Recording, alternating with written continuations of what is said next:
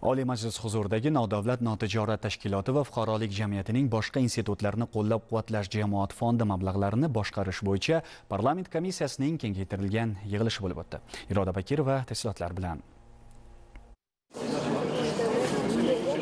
Ta'kidlanganidek, hisobot davrida ekoharakat harakat tomonidan 6 million nafarga yaqin faollar va ekspertlar qatnashgan 2300 dan ziyod loyihalar amalga oshirildi.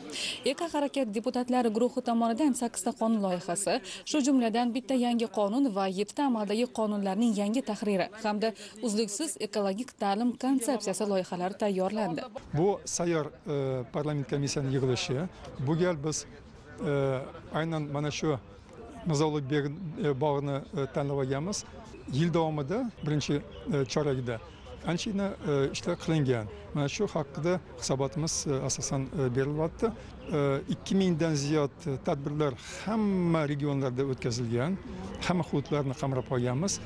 ishtirokchilarni soni 6 milliondan oshdi. Loyihalarimizni natijalarini biz ro'lab studentlarda ko'rsatganmiz. Bu muqobil energiya manbalaridan foydalanish. Bu e, zamonaviy qishloq xo'jalik texnologiyalaridan e, texnologiyalarini joriy etish va e, tarqatish va shu kabi ekologik madaniyatni oshirish ekologik ta'lim tarbiya masalalarini e, qo'yyapmiz uni samarasini yanada kuchaytirishga harakat qilamiz.